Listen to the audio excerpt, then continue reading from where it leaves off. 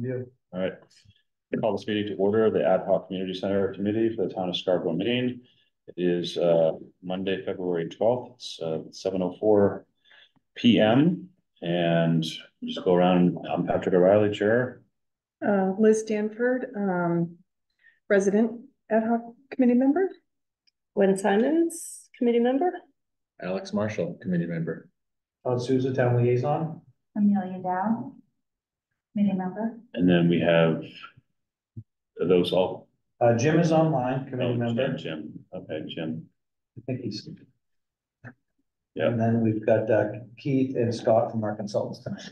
Perfect. Um, Jim, can you hear us all right? Yes. Okay, okay. thank you. Um, and then we had sent out the meeting minutes from, uh, January sixteenth. Um. And motion to approve those minutes. Somebody say so moved. Thank you. Second, second. Sure. Okay, thank you. Um, any discussion on the minutes at in all? Didn't read it. I didn't either, but make sure my name is spelled right. Uh, It is. Awesome. is. All in favor? Yeah. Signed, unanimous, thank you. Um, and then we have a pretty ambitious program to go through, so we'll kick it right off and get over to Keith. Take it away. Great. Uh, I, I don't have much of a, show today, but we've got Scott, uh, Karen from Ballard King today, uh, here, who's, who's, uh, been working alongside, uh, Darren to put together the operational analysis. And so, you know, we've, we've circulated, uh, the, the first draft of that as long, as well as the, um, the, uh, program that we've been working on. And so now is, is the opportunity to, for Scott to really go, you know, as, uh, into as much detail as, as we need to, to, to look at the, under the hood of the operational analysis. Um, and talk about changes that we want to make to the, the building program, and that will uh, really set us up going, going forward. So we can make the, uh, required updates and, and really just, just, uh, keep the program, uh, moving forwards and, and work, uh, work towards the next, the next steps of the process. So, I'll just throw it to uh, Scott. He's got um, uh, PowerPoint to, to help facilitate the discussion. And I can, I- I've got uh, our previous slides and everything. So if we ever want to look at, um, you know, some of the uh, program sizes or the matrix that we sent out, et cetera, yeah, I can, I can pull that up. And Scott, Keith, just so you know, uh, everybody has a printed copy of the building program option, uh, the assumption sheet, and then I didn't print the, um, I printed the operational stuff, the first head page is not the, not the dial down, but just so you have those, and you're both co-hosts now, so. Okay, great. So um, I'll uh, go over a little presentation, kind of summarizing all of those documents that uh, that you guys have seen, and and if there is somewhere along the way that you would like for me to stop, please don't hesitate to uh, to to say something or raise your hand. I'll try to uh, keep an eye out on the, the screen for those items. So uh, the first thing that, that we do whenever we are putting together an operational plan is we develop a few assumptions. And uh, so, you know, we, we start, start this uh, process um, in general because we've we've operated and done enough of these types of things to to have some general questions and ideas and thoughts as to how facilities uh, could be operated, but we want to make sure that they are aligning with the the local uh, you know presence and and how you guys have done things in the past or uh, things to consider. And so the the ones that we put together here. So as you can see on our screen is uh, we're assuming that the, the the town is the one that's going to be operating this.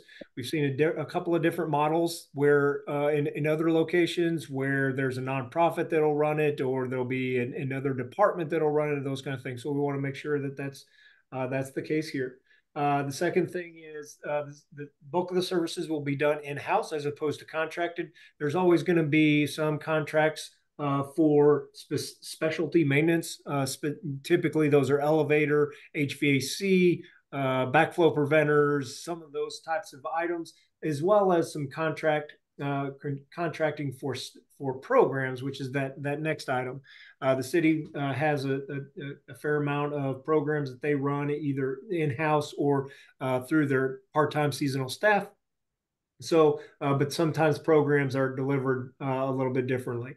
Um, we recommend that that the town would purchase weight equipment uh, and lease cardio equipment. And the reason for that is uh, weight equipment really doesn't change tremendously uh, throughout the throughout the years, and the maintenance of those items is pretty small. Uh, typically, uh, you will be able to utilize weight equipment. You may have to supplement or something, but you can typically get anywhere from 12 to 15 years. And we've seen clients even take longer uh, with those that those pieces of equipment.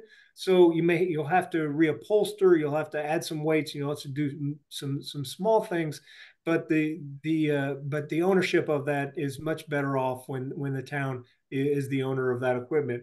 Whereas on the cardio side, um, depending on on the level of use, uh, it, it wears out pretty quick. Um, it's kind of like a car, and so the the more you, you utilize it, then the the more maintenance that goes into it. And so we would recommend uh, that that you uh, would have a lease option for that type of equipment.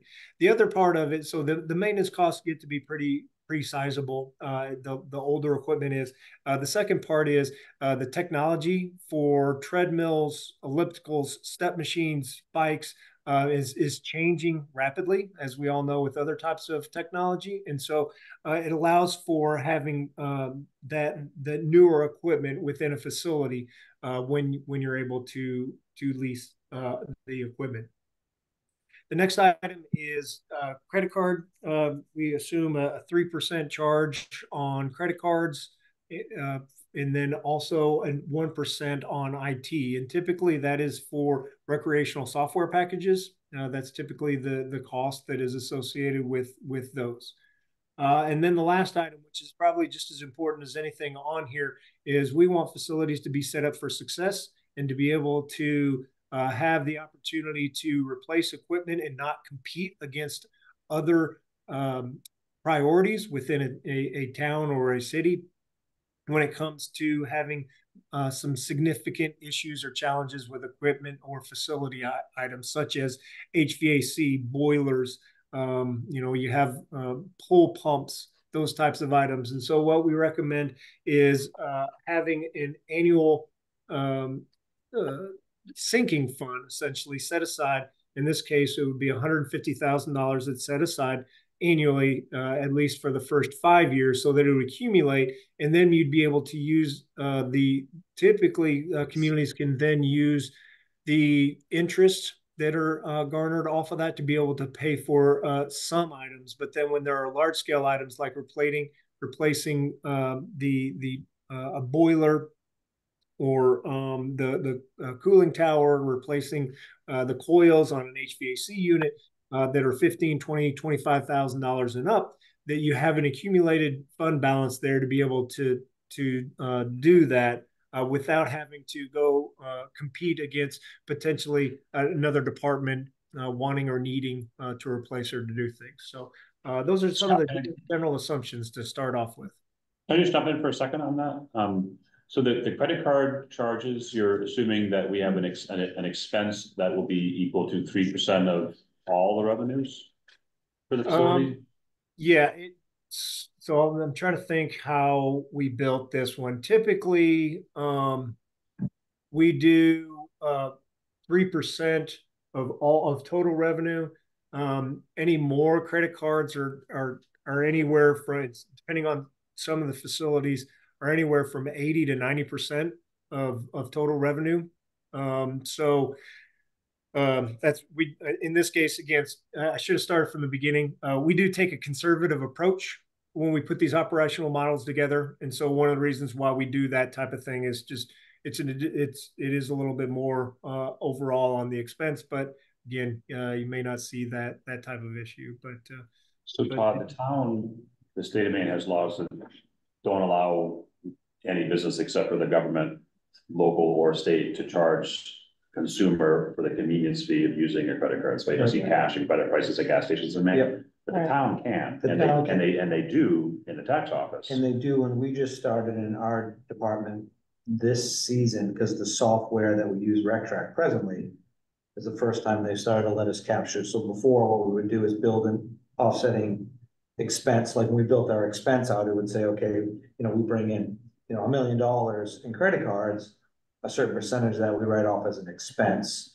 Um, So you just build We it, don't in, have so to you- do it anymore. what's that? We wouldn't have to We do it wouldn't with have to us. do it anymore, and again, it's charged off automatically, so when they register a program online, that fee is attached to their credit card.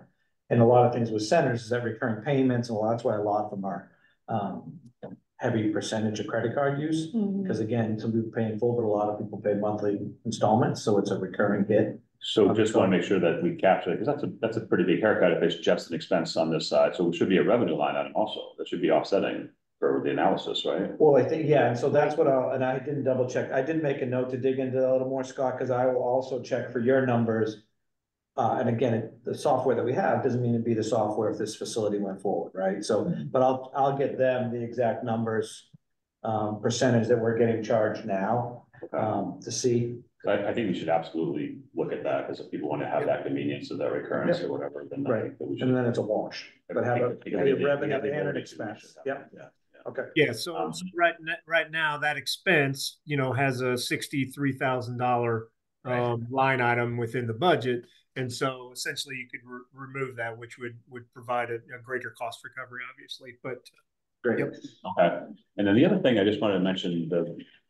I don't know how this works with it, with the, I'm gonna call it a reserve fund, Yeah. the CIP allocation, um, so if we have a reserve fund in there, so we have a. A constitutional issue in the, in the town where any, any capital expenditure over four hundred thousand dollars has to go to the voters, so I don't know how. A reserve fund would work in that capacity, I just don't know, we'd have to talk to the finance office to see how the that might limit? work. What's that? What's the limit? What's the Uh, limit? well, it just went to seven fifty this year. Oh, did it? Yeah, so what I think, you know, what's happened in the past, we have a reserve beach account where if, depending on which purview, um, things lie in. Like when I do my capital planning now, if I'm gonna purchase something out of the reserve account, I would do it during my budget process. So I'd say, okay, I need to replace the boardwalk at Pine Point, and I put that thirty thousand dollars and earmark it as a reserve account, so then council would have to vote on. Those reserve accounts usually live in council's purview, sometimes they're written where town managers can have a threshold. Of, okay, ten thousand dollars, you can use a reserve account or above, um, but I assume when we're getting into using a reserve account, we would still have to match our. Whatever process we have in town, so for example, his boiler example, I put in my CIP, a fifty thousand dollars for a boiler replacement. It would go through the whole budget process, and they would just get paid for from the reserve account. Versus having to go to the voter to say, I need fifty thousand dollars for boiler. So we anticipating that this reserve is gonna come from user fees or from taxpayer money? Well, I think that's a debate, Scott. I think it's politically how you look at it, because the building and the model, when he gets to it, is not hundred percent self-funded. Right. So really, Mm. it depends which way you wanna look at it, right? They may say no, because we don't, we're not break even.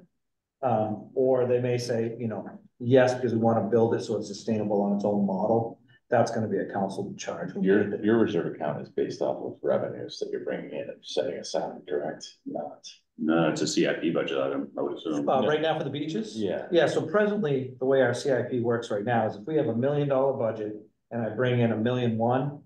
That one goes to the reserve account for the Any, beaches. any revenue overages you have goes. into Overages are under expended because it's a wash, so those two things get pushed to the reserve account, so I think it just Right. here, Yeah, would be depending on how it's set up. And if you're under, just nothing goes into the CIP. If not, or some years with the reserve account, they go get it, so if I, I say I need a million dollars in revenue.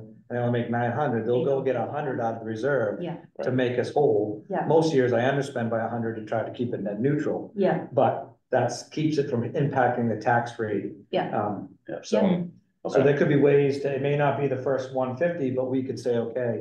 Anything over our revenue projection, and they would have to be able to charge, like you, you know. Right. Those things, of how it's gonna work, Yeah. but I think the key here is to say.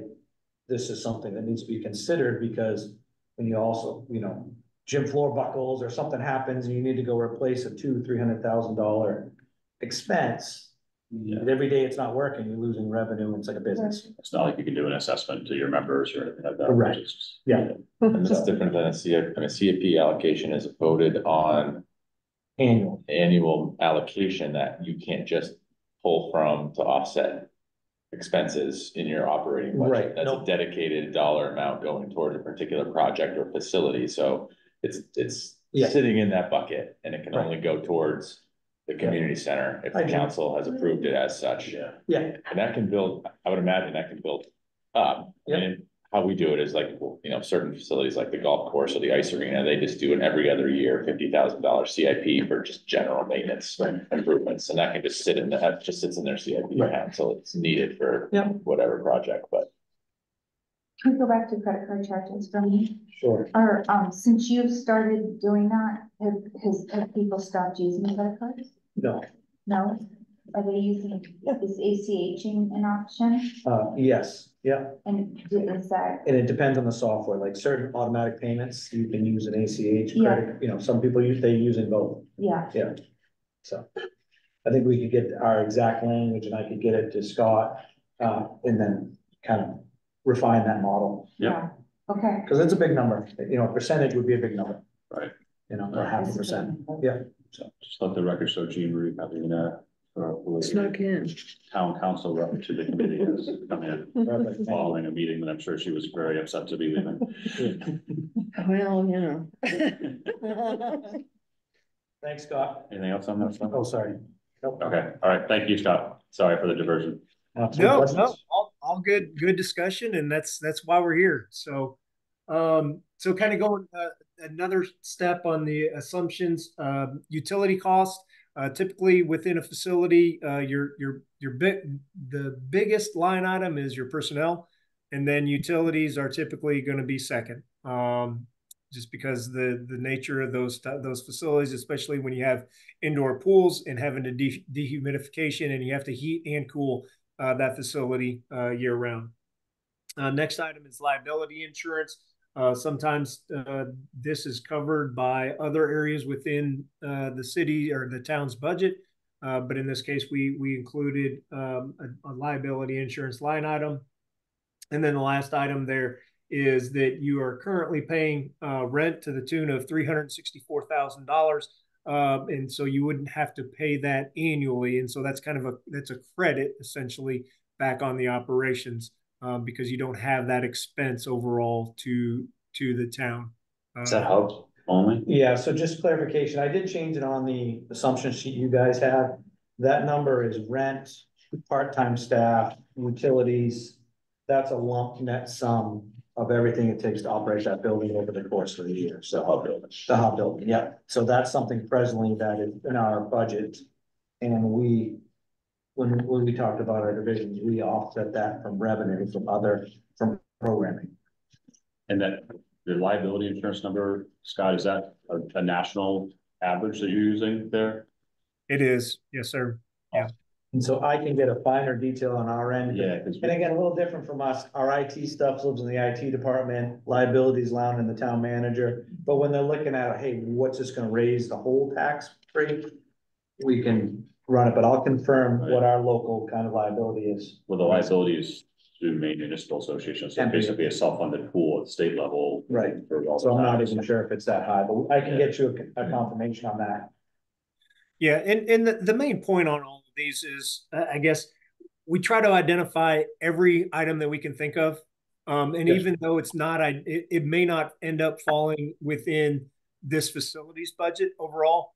It's got to come out of some bucket somewhere, right? And so that's what we, you know, so that's what we we we see a lot of um, when we go through these first rounds, especially they're like, all right, well, that's going to be paid by Public Works. That's going to be paid by Police Department. That's going to be paid by you know HR and those kind of things. And so uh, we that's that's the reason why we we, we like to got to go through all this kind of. things. Good. Um, and then lastly, there is just the, the tentative uh, hours of operation. Um, and, and again, the, the important part of this is because, as I mentioned, personnel costs are typically your, your largest um, expense overall. And so we want to make sure that, that we're uh, having staff schedules align with the hours of operation. So Hmm. my first thought on that is, have you, you've balanced that with potential revenue? Because Sunday morning to me seems like a time where there might be revenue generated or no? Oh, like before ten o'clock, I think that, um. It, it depends on your model, uh. a lot of times it's just staffing, you know, it's, it's, it's, like, sometimes with Sundays, they use it for rental potential. Okay, You know what I mean, where we've had events or practices or, or maybe it's a adult leagues go in the morning, you know. Okay. Open to open stuff where membership time, so I think so we that. could still use it for revenue purposes, but not have to staff it. Yeah, Absolutely, yeah, Got it. yeah. Okay. A lot of these times are, you know, to the public and then each section is kind of managed off. Got it. Yep. Okay, thank you. Sure. Yeah, and, and, and, um, if you go through like the, the, the actual, um, budget, you know, all of those line items, typically we'll have, um, and in here we have like community rooms and most of those rentals would occur during the normal hours of operation, but certainly there, that's not to say that they couldn't be done after hours and then you typically would cost, would you associate the staffing cost with them. Um, so, yes, ma'am. Uh, so with this facility, we've identified um, full-time staff uh, of 17 positions. Uh, probably the, the the one that we note the most often is the challenge with finding lifeguards, um, and especially in the early morning and daytime hours. And so that's why we recommend uh, a town and a facility like this have full-time staff uh, for those positions uh, because trying to find uh, college and high school students to to work part time hours um, is is is proves to be really challenging. And so again, we we recommend having four uh, lifeguards that are full time that can work those off hours essentially um, and provide that super, direct supervision uh, of the pool itself. Can I just take a, um, with the staffing, when Darren and I were chatting about the staffing, there's a lot of full-time staff there. And, um, I was having, not, not, not debates, but conversations with Darren regarding, well, do I need a sports coordinator? Um, you know, or do I don't? And, and so we just agreed to put him in this first model, because you go down to three gyms, you're holding a lot of tournaments, you're holding a lot of functions. You get down to one or two, you know, and the other part of this conversation until we get to the end is I, I can't tell you what my staff capacity is gonna be in two or three years. As far as, you know, am I gonna be, I mean, I could tell you today, could somebody pick up some of these roles? I couldn't tell you in three years. You know, would somebody be able to do it? So Talking about skill set. skill sets or just capacity where like my rec programmer right now, I could say, okay, we could probably pick it up. But when you, when you build out other programs, the responsibilities change. I couldn't guarantee we could make the projected revenue. So we just decided to fully, fully vet the building and as it gets closer or, or scope changes, then we can dial it down accordingly because uh, my previous job, um, building it funded, things changed and they started cutting staff and you could never make the revenue projections because you couldn't just, you couldn't be everywhere. You couldn't have programming, you couldn't have, and so it was just a completely tough model to say we're filling things all the time. So I just agreed to go this way and give them, um, uh, the, the full position realm that he, that he said they would take to run the building as if we weren't sharing roles or the other thing too with this is that, you know, having a maintenance superintendent, I might have somebody on staff now that I promote in three years and bring in a lower cost employee to backfill that other position. So those things can, can offset the staffing thing, so. So have uh two questions. Um, one is, are these um anticipated salaries at today's market rates or in three years or five years or whenever the building gets done? So done? what I did just to, for, to be safe is I looked at if I was hiring somebody today and then I did a normal scale like three years out. So it's kind of a rough, a rough, just hey, you know, if we get a step every year, kind of pushing it out there, so. And the only other thing I'd say on the, my comment on the um. Benefits and taxes and everything, I think that was estimated at like third, well, looks like thirty to fifty percent or somewhere I read thirty-five percent. 35%. Yeah. That's incredibly high from my experience. I've run a lot of businesses and that's way more than. Than I've, Pretty standard for municipal. It, it's Yeah. for, Yeah. for government. It is pretty standard for municipal side of things. I had the same reaction also, it's 20, 20, 25 percent in the private sector, but it's another ten or fifteen percent higher. okay, Yeah, hmm. salaries Town are usually lower, benefits. It's got nothing to do with me. That's It's got to do with state, it's got to do with That's state. why, that's why Okay. these The these state salaries retirement see those, right? Right? Uh, the salaries don't seem low either. Oh, really? I 'Cause thought these, were a little low. they seem, these seem low to me, but the benefits is Yeah. higher. That's, that's the, that's the It thing. is. like, Okay. People work in Yeah. governmental and nonprofit positions a lot of times because the benefits are really good, but they sacrifice the lower Yeah. salary. for the Okay. higher That's the trade-off. I definitely see that. Yeah, the, the question about the coordinators, like the sports, the fitness and the program Yeah. coordinators seem like they could be. Yeah, they could be consolidated, right, yeah, they could be consolidated and, and like even the fitness coordinator, I left it in there when we were talking, but we did talk about how do we subcontract some of those classes and that sort of stuff. But again, in this first run of the model, those are places to reduce and then, but, and then you could go back and use a 70-30 cost cost or a 60-40, you know, on, on aerobics classes or. And the director's not your position, that's the director of the No, facility. that is, that is director of the facility, Yeah. somebody that, that is his or her ultimate responsibility. Right. Yeah, and, and I've worked in, in a number of, of facilities, uh, and, and in communities that, that have had this type of model. Um, so I was in, in Missouri, um, I had a sixty-three thousand square foot, uh, indoor recreation center that had, uh, pretty much the same model as what you guys are looking at. It had two gyms as opposed to three. Um, and I had, uh, counting myself, I didn't have four full-time lifeguards because at the time, uh, lifeguards, you did, you could kind of, uh, use part-time. Um, but I, I had, um, 13 or no, I had 12 full-time staff, including myself. So if you had the four lifeguards here, that's 16. So just to kind of give you an idea, um, it's pretty similarly aligned, um, with what, um, my experience personally in, in running a similarly sized facility.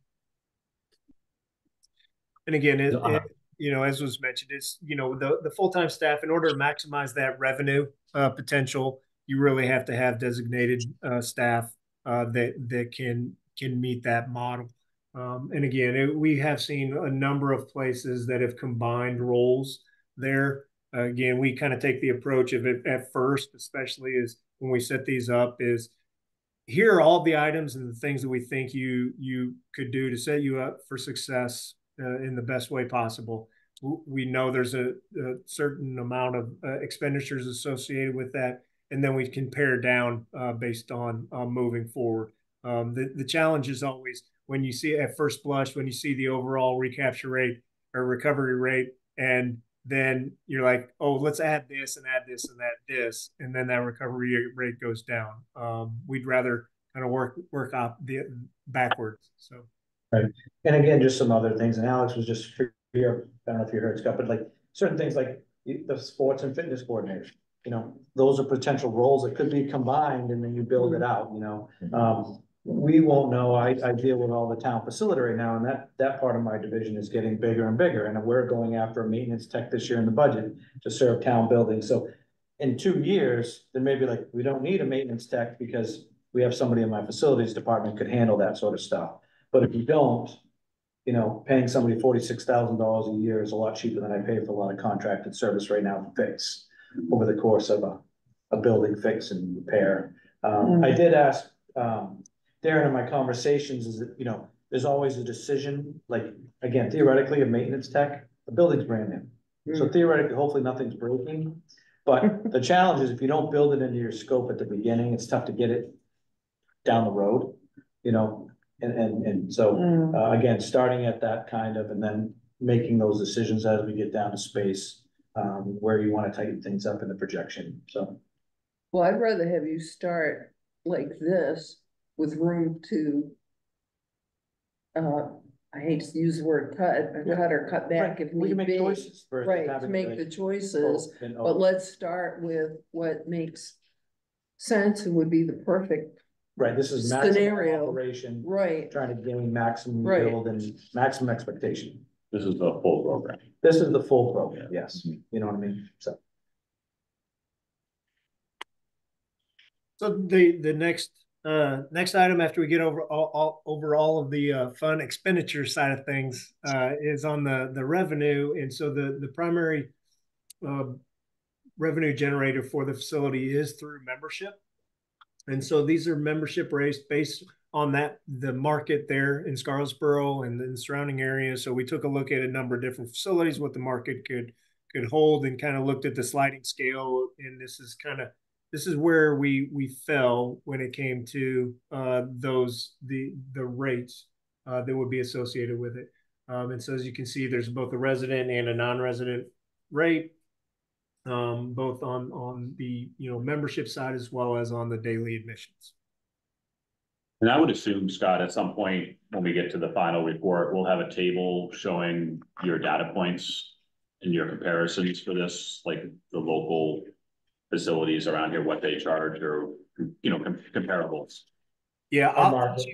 I'll I'll check with Darren as to what he had on that. I know, but I know that's he had to, you know, he pulled that information to be able to to put that together. Yes, sir. So I think that, that'll be a question we get asked. Absolutely. Hey, are we, are we in the ballpark here? Is this a rate to do our facility or how compares, how com- mm-hmm. Comparable. comparable, thank you, are we to facilities around us? You Hmm. know, so we're not over or under, but in that sweet spot for competition points. Yeah. Todd, in, in your experience, do you get pushback from town people saying we're paying for this with our taxes? Why do I have to pay? I think it, one, it, it's the upfront message, and again, regarding the Okay. building, you Yeah. know what I mean, what we're doing. Um, you know, you, any building we build, you pay through taxes. The, the, the thing about this is that then people have to decide, is that value Right. For my family or myself, and that's why a lot of times. I know for me, in my, where I live now, I only do a winter membership. I don't use the building in the summer, um, cause I'm not a lap swimmer and I'm out on my bike versus stuff, and so I think. Depending on what you wear, and it's not that it's not a good value. I just don't, when the kids were in the house, Right. twelve month membership, Yeah. rainy day, we're going to the pool. Yeah. Please don't kill each other, you know what I mean, it's like. I can, I can just hear that. Yep. I mean, I'm thinking, you know, Yep. obviously from my role, I don't have an issue Yep. with it, but. But again, you it's know, what they're getting out of this, and they don't have to pay this if they don't.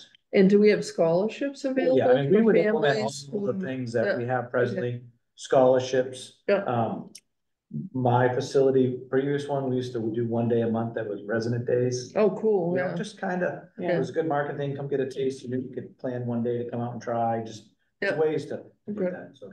Thank you. The, um, the daily rates on the non-residents are, um, they're, they would be less expensive to pay every day than to get a monthly membership. Good. So on the youth, if, on the resident, if they pay ten dollars a day, um, they do better to just get the month. But on the other side, it's not that way. Does that make sense? Oh, yeah, yeah, yeah, yeah, yeah, yeah, you see that. So it'd be thir- thirty month, thirty days, three hundred dollars, Right. they're paying three, but that's three sixty for the year.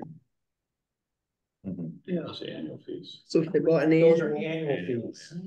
Yeah, so those are annual fees there. So it's a hell of a deal.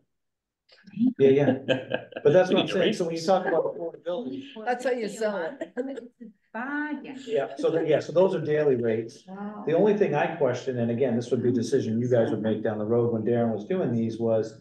We used to have a, you see, there's a family membership, but there's not a family daily rate. And so we used to have, and again, it's a choice going down the Yeah. road, we used to make a family daily rate. Um, just because it was something that, you know, if you do this and you got three kids and two people, you know, you could be paying fifty, Oh, right. fifty-four dollars to come in for the day. Yeah. You know what I mean? That's a good idea. So, I mean, so we can, those are decisions that you can make philosophically, and those can be added into it. I will say from the person behind the desk, it's like, you know, me and my brother showed up with the three kids, that's not family. You know, we're, we're related, but we're not a household, Right. you know what I mean? So it was, I mean, but those are things we negotiate with policies in the background, but. Scott, maybe just label that so it's clear next time we, or whatever it gets down the pike to be presented to somebody else, just have that be monthly rates on the top section there. Go ahead. It- Annual. Sorry. Annual. Annual rates. Three hundred and sixty a month? Is there, a is there a, a set formula in general of non-resident versus resident? I mean, I feel like the non-resident is not that high. Yeah, there's twenty-five percent on this sheet. I mean, is that, is that a standard thing? We we see, we see a lot of places that are fifty percent above, um, the resident rate. But it's, it's, you know, typically um, you know, we rely on, on you guys to, to help us determine what that, what that is. So, um, yeah, in this, this instance, um, you know, we, we used, uh, just twenty-five percent. Yeah, um, what was I gonna say? Oh, the, are those rates, um, for access to everything, the pool, the gym, everything, and including classes, or is it? No, he's shaking his head. You, we, no, so when I read through it, Scott, you can, yeah, you, I think those are choices we make too along the way, but most of the times. It's, it's, uh, use of the building and then maybe certain classes, and I'm not sure how, how far Darren dug into it. Like with mine, I had my four or five basic aerobic classes that if I could fit four people or I could fit four hundred. Yeah. Those were part of the, the general membership fee, because it was kind of like an extra bonus, like, I- rather than paying a ten dollar aerobic fee, I'm gonna. Right. Might as well get a monthly membership and now invest it, but the classes that had limited seats, spin, yoga, you know, plot, you know.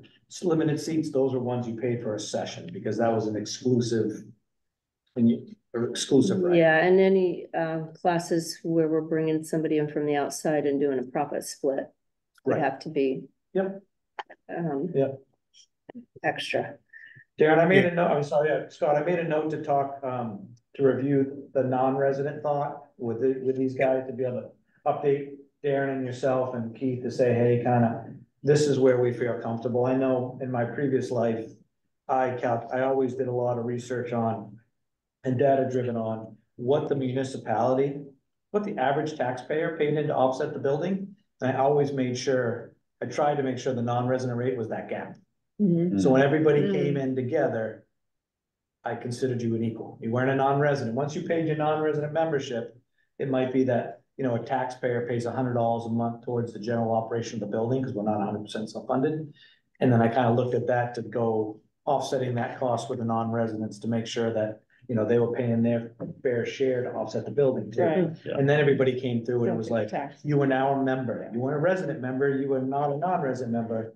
You're all part of the building, you know, so that helped with donations and fundraisers and just goodwill when you're trying to do that, that stuff, so. So that hasn't happened here. We, I haven't done that exercise and I don't, I don't know where Darren grabbed the difference in, again, I think it's just a flat twenty-five percent, which is pretty standard. Yeah. But I think we could choose where we wanna see that gap.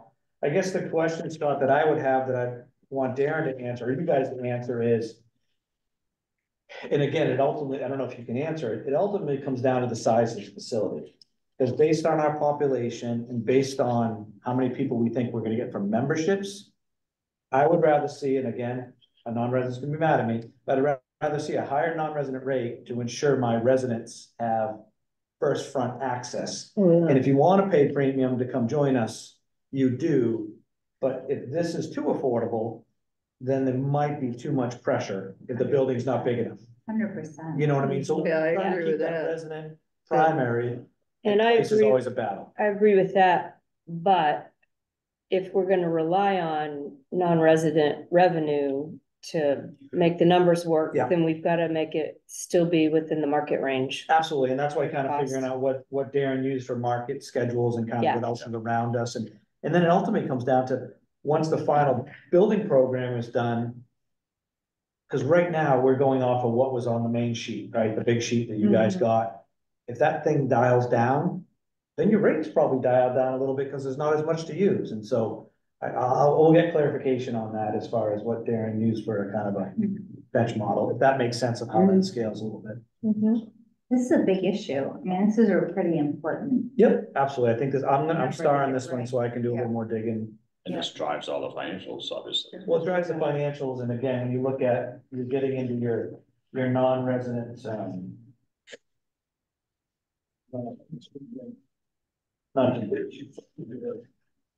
That's good, this, on the other sheet, Oh, yeah, yeah, yeah, yeah, but I was trying to see how much, without putting on the spreadsheet and screwing up with Zoom and I'll never get back. How much revenue and number of memberships were, um. Yeah, so projected re- on so non-resident member- side. Mem- Yeah. members, memberships, as far as revenue is concerned overall, are, are essentially fifty percent of all revenue.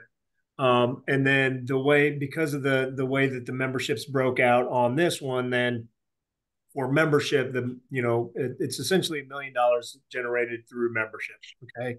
And about, um, excuse me, uh, sixty percent of that is re- is residents, forty percent non-residents. So, um, it, you're, you're right. It, it, somebody mentioned it, this is a big issue is, is there's a couple of different philosophies on how you handle non-residents. Um, if you have a very popular facility and then you want to ensure that you're, you- you're absolutely correct. You want your residents who are paying the capital costs typically of that facility to, to be able to utilize it. So you would have a higher non-resident cost. If you want to really drive revenue, if one of the intents is to really ensure that this is paying for itself, then, you know, having a lower uh, non-resident fee could drive additional uh, attendance, participation, and use. So it, it, it you do get into a little bit of a push pull when it comes to residents versus non-residents. And um, again, it's it's a it is truly a philosophical issue that a lot of different places struggle with um, and how to how to get it right.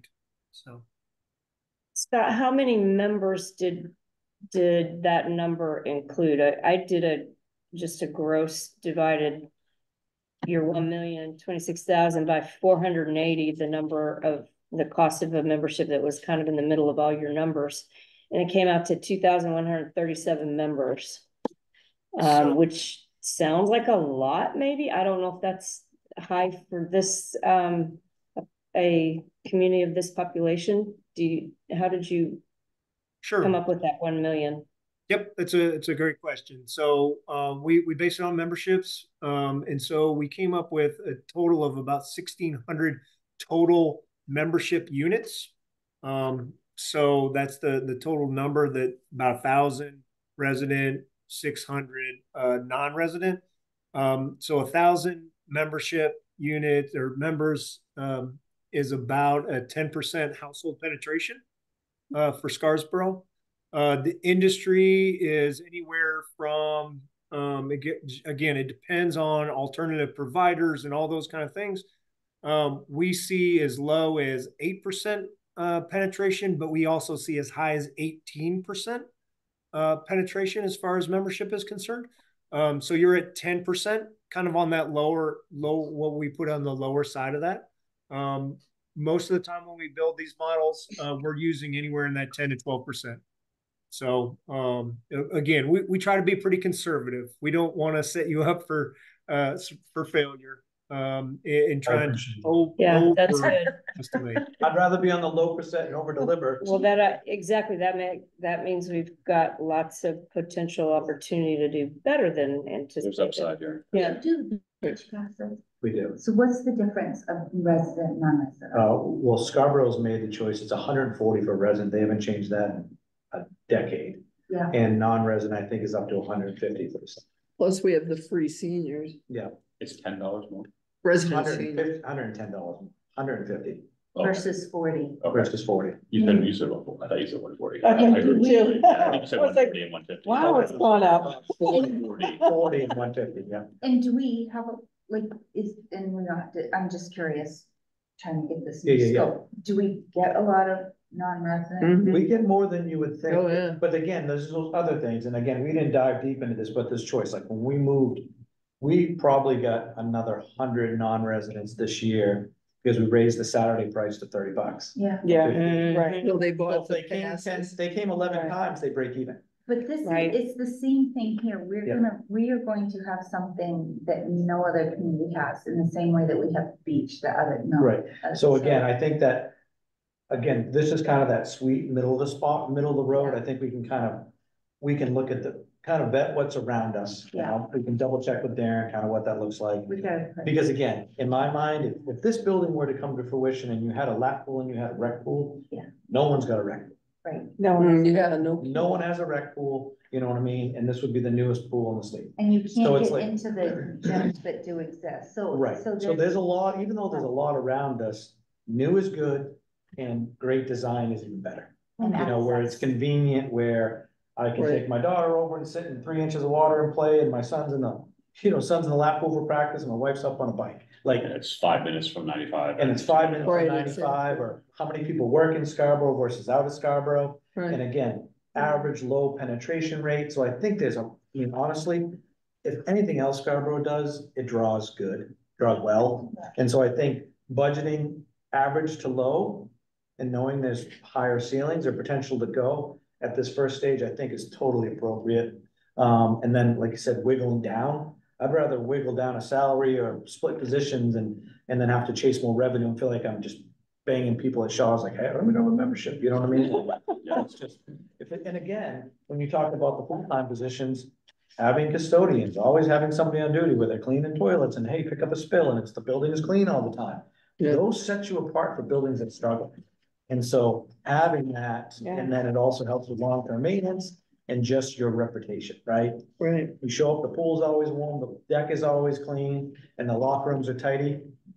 That's a lot, right? It is a lot. It's, it means huge amount, especially in days of health and wellness and Yeah. just sanitation. Right. Like When you walk in a locker room and it's like the swim team's there, you don't have a custodian, here, she can't go in there after and mop that.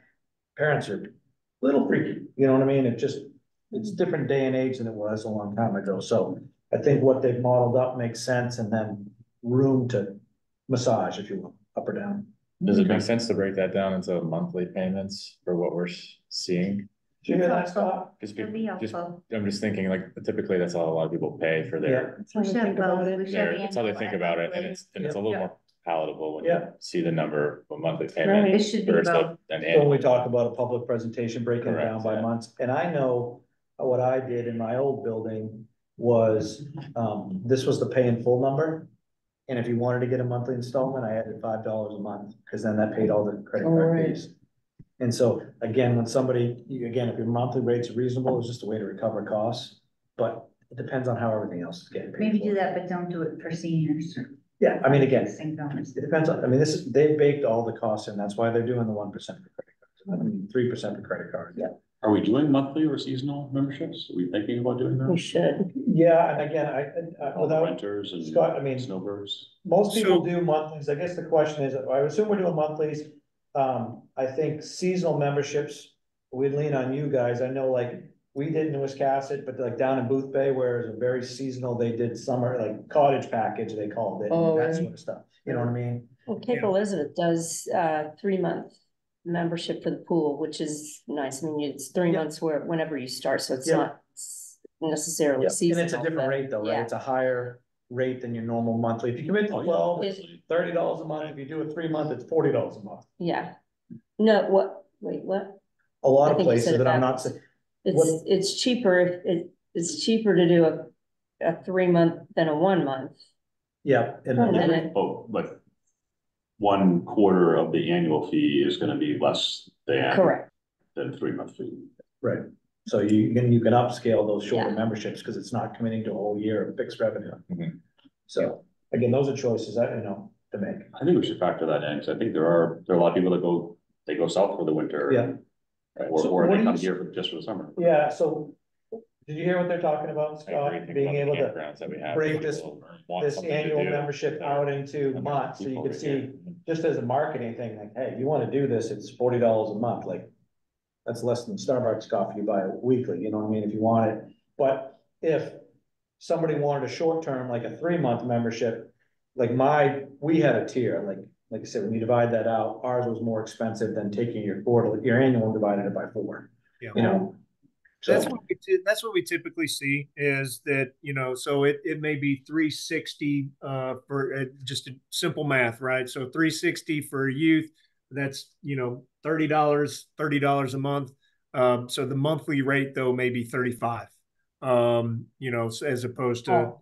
to three sixty for the year. So you're getting a little, it's a little bit of pre, and part of the reason for that is because it does take somebody to uh, set up the EFT or the credit card, and then there are inevitably going to be returns, which again is staff time to to then assess fees and do all those kind of things. So um, there there's an easy justification for the reason why those occur, um, and then uh, we see a number of facilities do um, there's uh, you know summer only specials, you know for for college kids they're home during the summer and you know or They're they're certain place for you know you do a November December special and those kind of things. So um, what we try to do when we build this model is look here's what we feel that the appropriate or the, the market penetration is overall.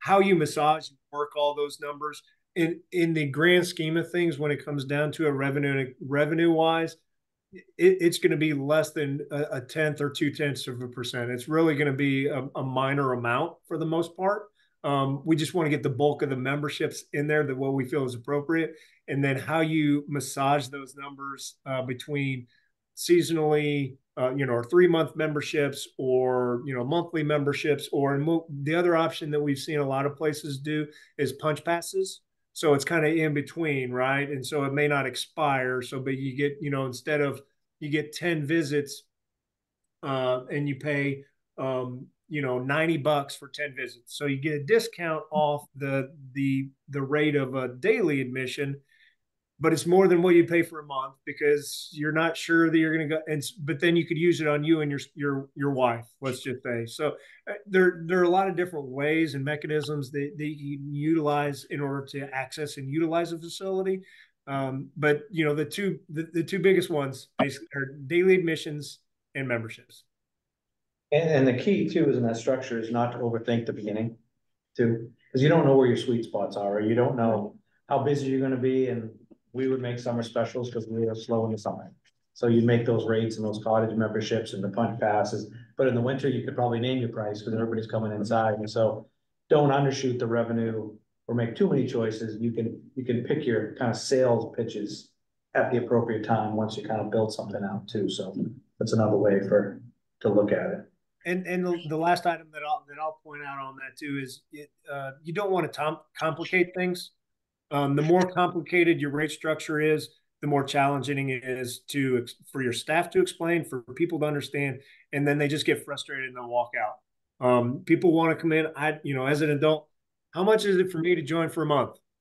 You know, and then if you're like, well, if you do this, if you do this, if you do this, then they're like, I look, I just wanted to join for a month. I don't care. And so um, we we always recommend again a, a simplified approach uh, to memberships.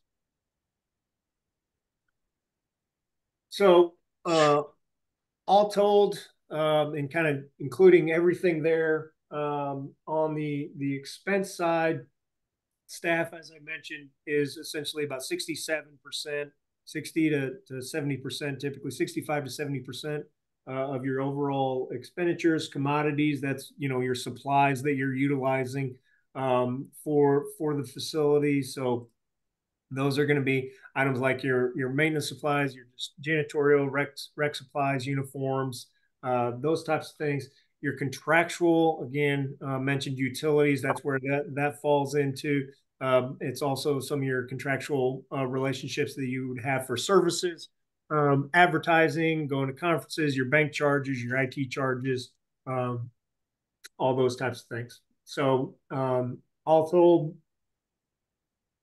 a little over $3 million.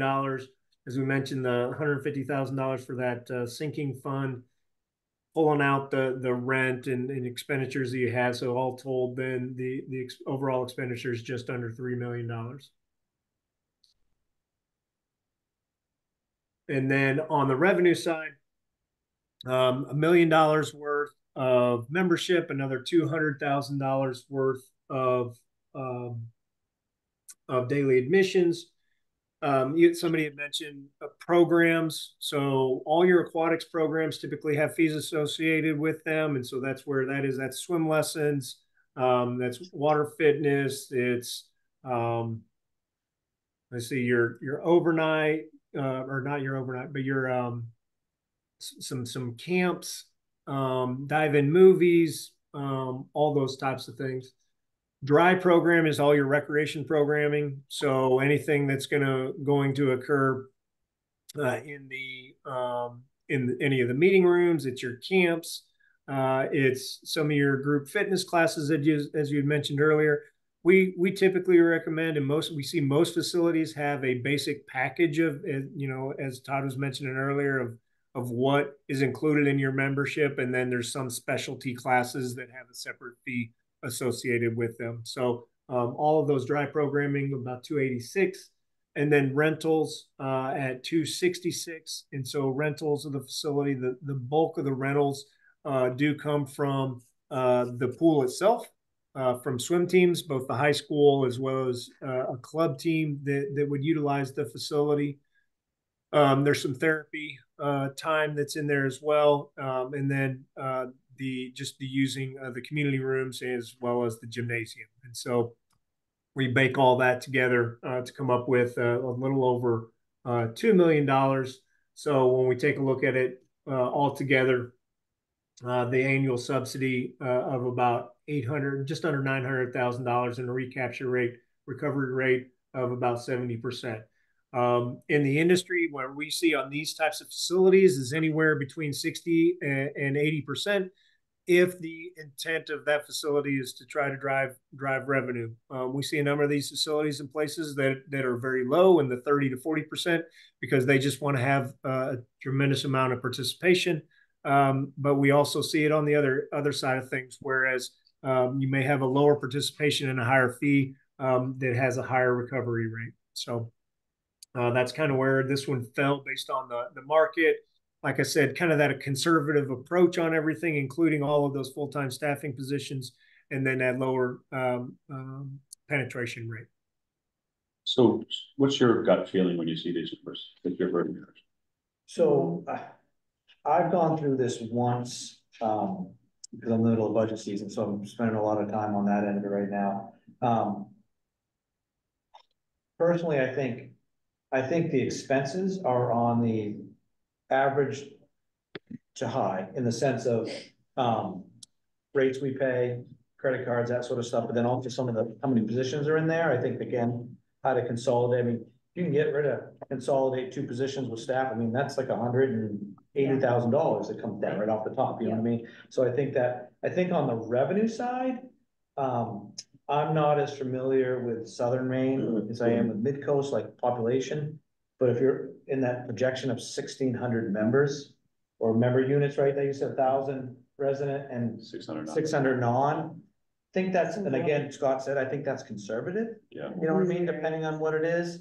Um, and, and then, um, and I appreciate this, so this is not an ox god on you or Darren, I appreciate the conservative approach, because there's nothing like shooting a rocket in the sky and never be able to land it anywhere, because, because it's so fake. Um, this is very conservative on that end. I think on the revenue side, we can do a lot better. Some of their projections for some of their specialty camps, 150, 170 dollars a week, we're charging two, two fifty. Way more. You know what I mean? Yeah. Um, I think that, you know, the, the volume of them, you know, one week, eight- like when I, when I showed the, um, my programmers today, um, eight weeks of summer camp and then eight weeks of specialty camp, well, that's only sixteen weeks. And again, they instantly went to, I can turn that into a team camp and I can get more than seventy-five kids.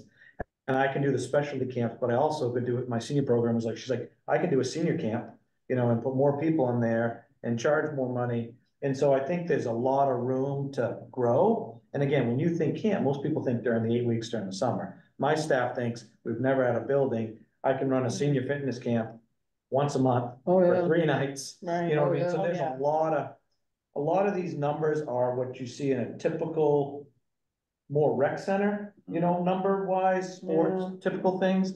I think because we've lived in a world of programming and kind of living hand to mouth for space. There's a lot of things that I think we can do that will get more people in there. Um, and I think that, I just think we can do more on the revenue side.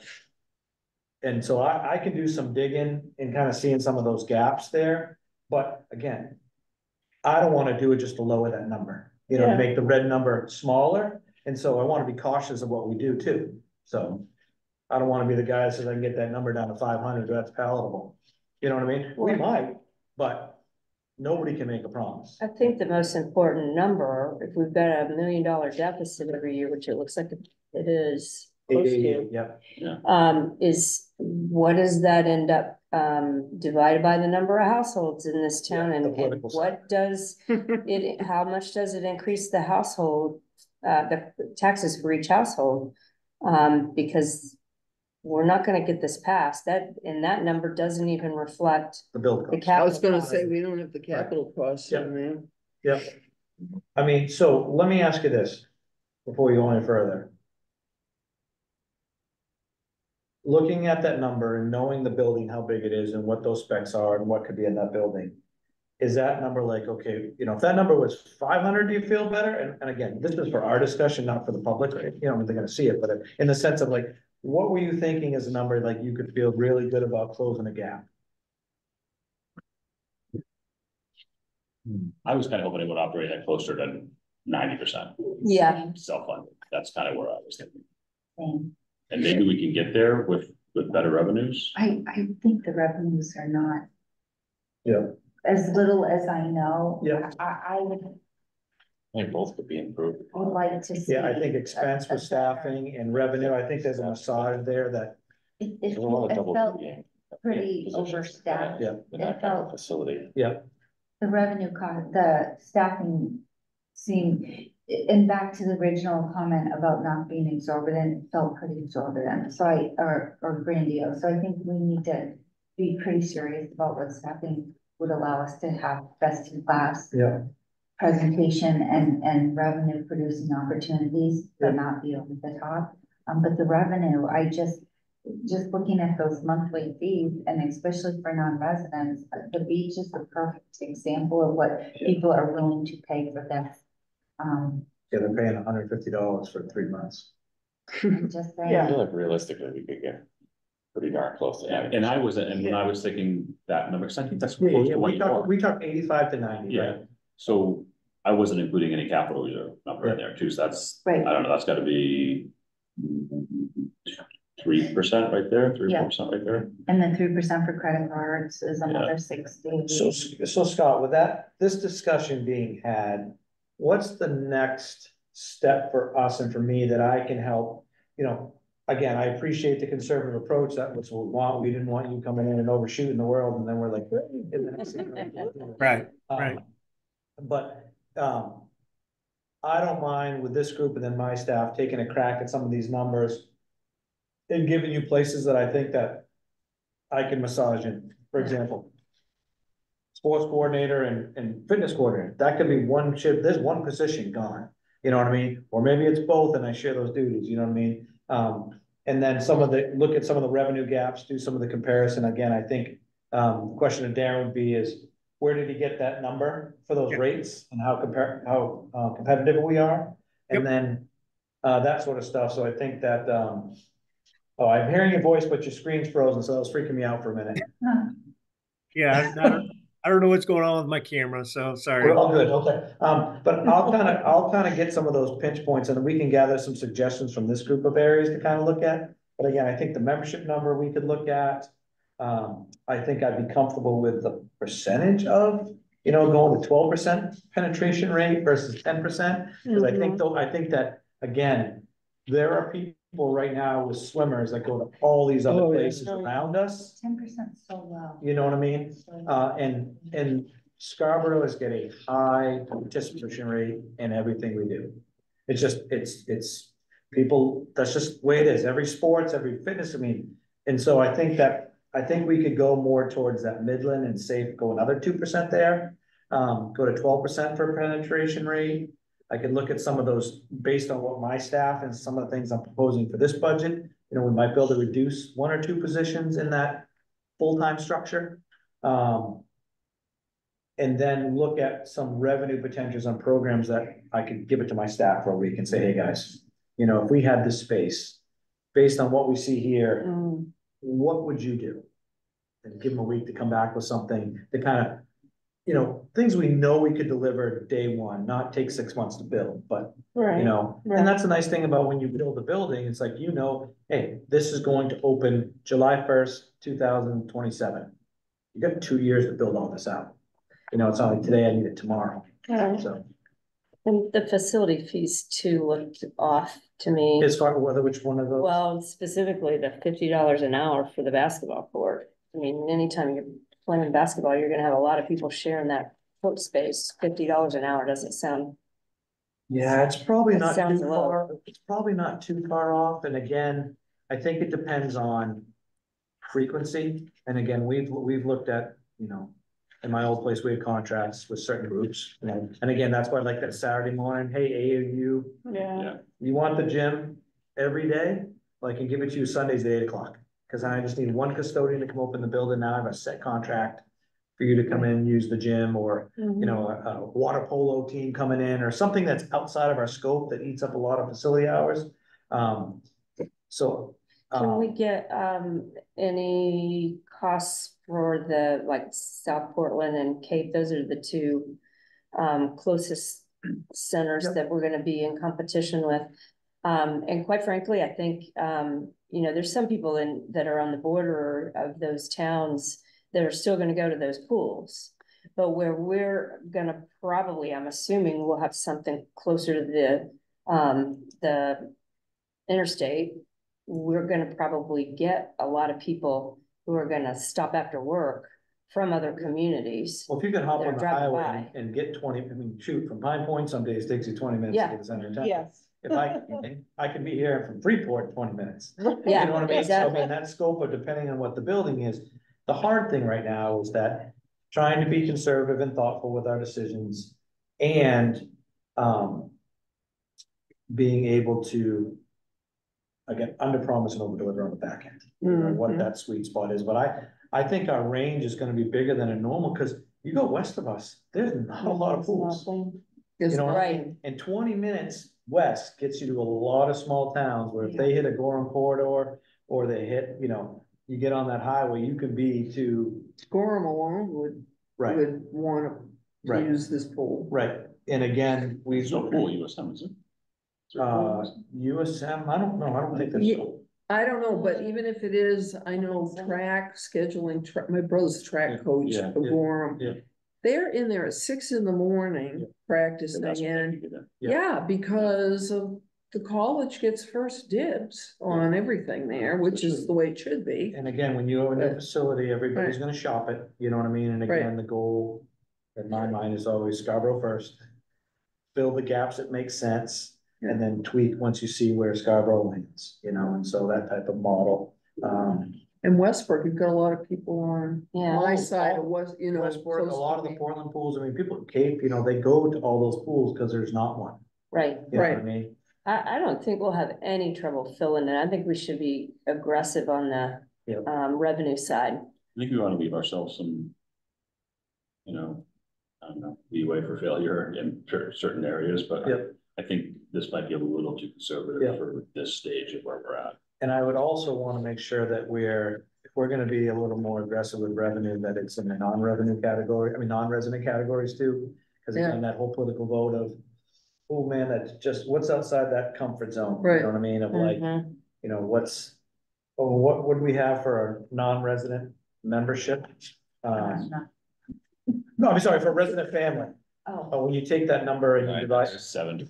seven twenty and divide Oh, that by twelve. Yeah, well, the uh, family membership at Cape was one thousand one hundred and thirty-six, substantially higher. And, and that's just a fitness room and a pool. Right. There's no That's gym, no Cape. walking track, that's no, you know what I mean? So again, Yeah. it's that sales pitch, right? facility. You don't wanna be too, too low, because then you're gonna be overpopulated and overcrowded. You don't wanna be too under, because you wanna make sure residents get Right, the sweet spot. Yeah. But being a great value is a big deal for me, Mhm. you know, and that's why, hundred, you know. Yeah. Yeah. so I think we can, I think we can massage those and get that back to Darren and Keith and, and kind of look at that and close that gap. I think we can get to, to high eighties really, not too to hard. me, to me, a big selling point from, uh, from the political point of view is as much of your revenue, you know, your operating expenses, whatever you can cover with revenue is, is fabulous. Yeah, But as you know, your, the, your biggest obstacle is building a building. Where's it gonna go? yep, yep, yep. Where are you getting the land? Yep. You know, and all of that, and that's, that right there is huge right now. And that's why strategically and systematically is that Yeah, we're being very thoughtful and deliberate with what does the building look like, right, expense and revenue? right, Because if you can come to a happy medium there and understand that. Yeah. And people can understand what they're getting and then the value. it's a lot easier to sit down and comprehend, okay. And maybe twelve hundred dollars a month annual, and twelve hundred dollars a year, and it's hundred dollars a month for a family of six people to go. And my taxes may go up hundred dollars. So is, you know, is thirteen hundred dollars a year worth this to me? Right, Me, a- absolutely. Somebody, maybe not, but that's why we're trying not to throw the build cost into this mix until we understand right, all the details of what makes a building run, because you don't wanna build something that can't function. And that's the, that's the risk of building something to say. That's when they say, wanna put a pool on the school, I'm saying it out loud right now. oh, I'm, I don't want I'm anything to do hearing that, I'm hearing that. I, I, I know, but it's not a revenue gain, it's, it's, a- it's a, it's a cost. It's a- Right. It's a huge, when you talk just about a lap pool on a school, yes, lap swimmers will swim. But there's not a lot of time Right, outside of that. Mm. It's just, it's just not. And so thinking community wise, that's not, and that's why this has to be a good value, right? Just has to make sense for most people. And this building, you know, would have to have a strong nonprofit arm, fundraising, donations, you know, like, Mhm. Kind of, you know, that would, Grants. all that sort of stuff, you know, We'll what you're talking someone to about. listen. the philanthropy piece of Naming, this. give the naming rights. Yeah, what about the naming rights in Huh? corporate? Um, Scott, we haven't really touched on that. Can you hear us, Scott? I, I can, sorry, Zoom kicked me out for a second or a minute there. Yeah, no worries. No worries. Um, you know, again, we're, we're gonna kind of massage some things on this end. I think we agree that I'll get Yep. back to you guys and I'll, I'll, I'll share with this committee before I get it to you guys. And then let you tell us the pros and cons to it, to see if Yep. it meets the model. Um, but again, this is going down a different rabbit hole, but when we're talking about our build and the cost of build, once we get to that discussion. Naming rights and longevity stuff into a building, like. When we get to that point, how do we have that discussion and how do we Yep. start leaning into that, you know? Sure, that, that, that, again, it's a, it's a great discussion when you start getting to capital, you know, how to tackle the, the capital Mhm. cost of, of a facility, and so. A number of facilities, uh, go about it differently. Um, again, somebody mentioned, you know, the question about, uh, scholarships, and so how do you fund scholarships? And so, um, we've seen communities, uh, do it, uh, so that the, the, the different areas of the facility are named, so a gymnasium, meeting rooms, uh, Mm. fitness room, Uh-huh. those types of things. Typically, we, what we always do is we always recommend that there's a time frame associated with it. So just Sure. because you name it, um, it, your name is not staying there forever. There's a five, ten year, uh, uh, cost Oh, that associated be it. really money. Don't put this, put, don't put the name in granite marble in the front of the building. E- ex- Exactly. Um, Yeah, and then, That's and then, five pound dumbbell. Yeah, yeah, exactly. That's, that's his own dumbbell rack. Yeah. Secure by the fitness Yeah. center. So yeah, I think we'll kind of lean on that when we get to the capital piece, because I think those are, I think based on what we've seen here, and this is just me speaking. Um, what I've seen here and the operation, the revenue, we've been really conservative. I think we can tweak that to get to more of a palatable Mhm. number that's easily defendable Mhm. based on the market. I think that when we get to the capital number and then Keith and um, Brett, you guys start getting us that piece to discuss. I wanna be fully ready before we put that number out there, kinda like we're doing here. We're very thoughtful in, here's some of the things we're gonna do to offset that Mhm. cost. Right, You know, not just tell them the number per square foot or not put it out there that, hey, this is a fifty million, or whatever the number is. Here's how we think we can go after getting that number down. Right. You know what I mean? And again, Jean Marie said it. We have some other tools at our disposal, depending on where it's built. Is it close to a TIF district? We can recover Mm. sixty percent of the dollars that we're not getting right now. You turn a fifty million dollar building into thirty really quick. Yeah, You know what I mean? Depending on where it is, if you choose to use some of those resources. And so that's what's exciting. That's why we've been kind of holding the capital piece off to the side because Mhm. that's what scared the school. That's what scared the library. We have this advantage yeah, of offset to, Right. to do, hey, this is why we made these decisions. This is why that choice is there. You know, again, we talked about that sliding thing and if we get to that point, Scott, but like, hey, if we get to the capital cost and um, you know, you're going to talk about going to two gym, and we said, you know, we know, we know we need two, right? But we're doing three. You know, a set, taking a third gym away may help the cost, but it really may hit the, the revenue side of things harder than any other thing, and so that's what their professionals will be able to tell us. Um, Right. as far as build outs, you know what I mean, and so where's those sweet spots we get to that?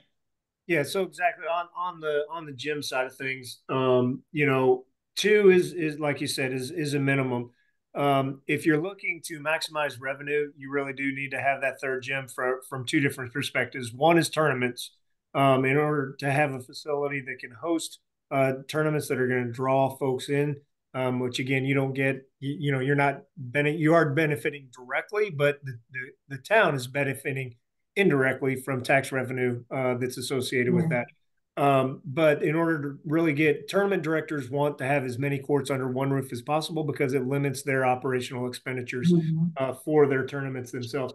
The other item is that when it comes down to renting of facilities, let's say somebody wants to practice on a court, if if their practice if their team is practicing on a court or on a half court or whatever, then now you only have one gym, or do you you um, so it limits your revenue opportunities. You know if they because you want to typically with these types of facilities there you know uh, somebody's paying a, a, general membership right and so if i want to go down there and i want to shoot hoops with my son daughter whatever you should in general for the most part um, be able to do so because you're that's part of your membership um, and so that's the benefit true benefit of having a third gym is you can still allow drop-in play you can allow rentals um, and you can still have even recreational play leagues, those kind of things going on at the same time, as well as maximizing tournament revenue.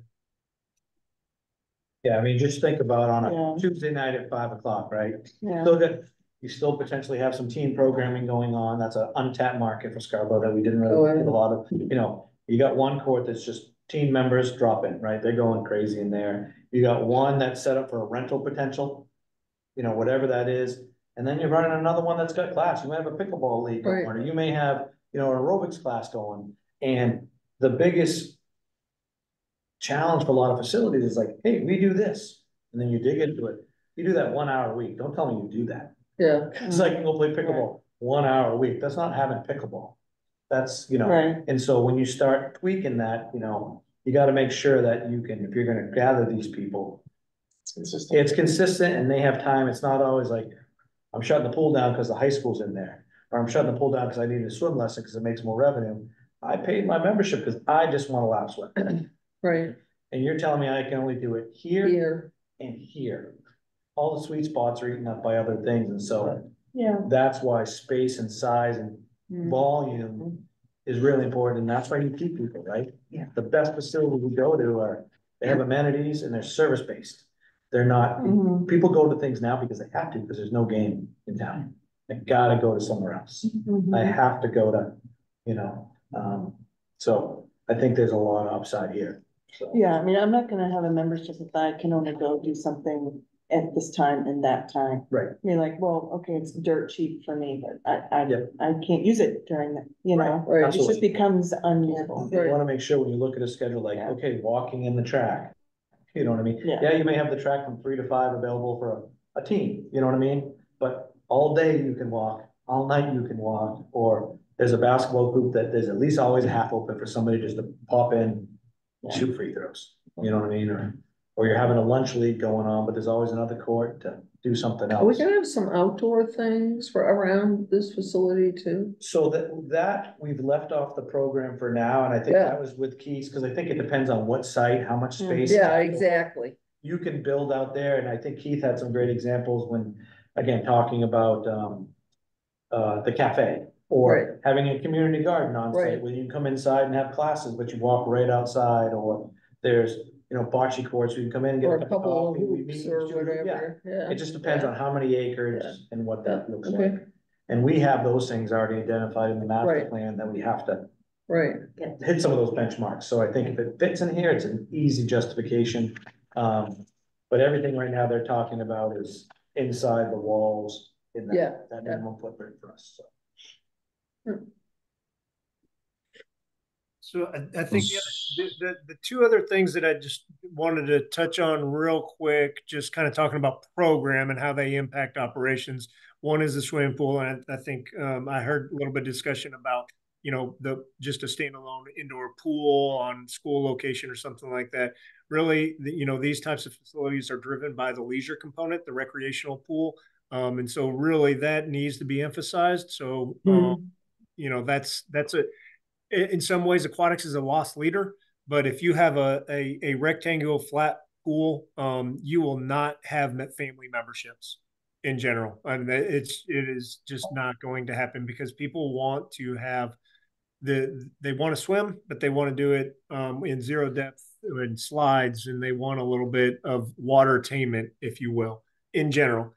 Um, adult membership and senior membership are, are fine for, for lap pools, but when it comes to family memberships, they can, they will be driven by pools. Um, and then the, the last thing that I'll, I'll say is, again, you talked about, you know, trying to maximize, um, membership. The other consideration would be to, to grow the fitness space, um, whether it's the studio space or the cardio and weights. Um, you know, again, that's, that's your, that's your big driver is your membership and the, the, you know, 60, uh, percent of your members typically are using the fitness area.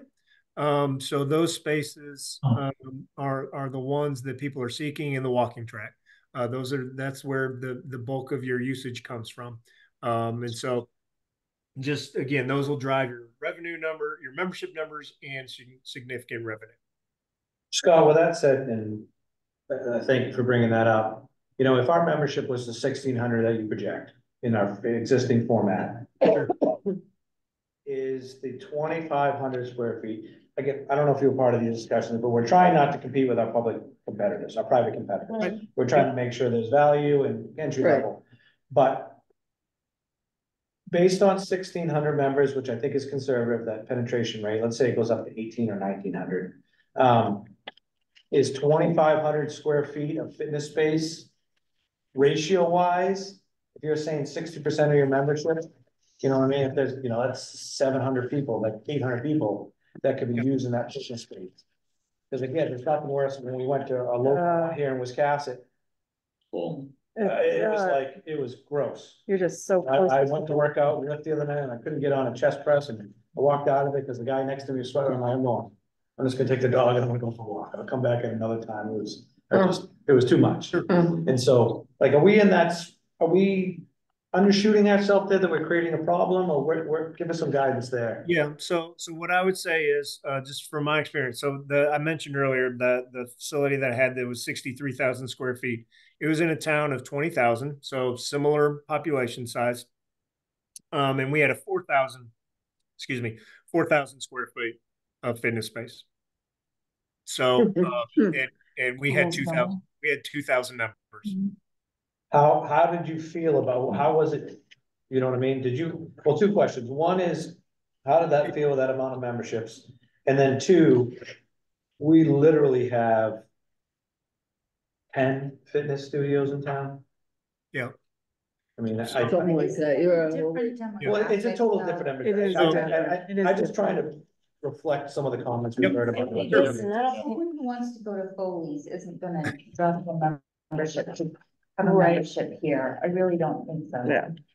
So, And, and trying to keep the cost down, of the whole proposal, I just don't think it's worth it to, to add costs for fifteen hundred more square feet. When we do have a lot of other, um, uh, places that offer fitness in town.